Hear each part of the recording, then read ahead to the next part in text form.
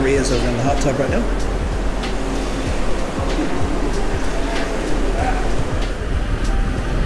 Solarium Bar, where they make an excellent drink. I had one of their blue waves here earlier.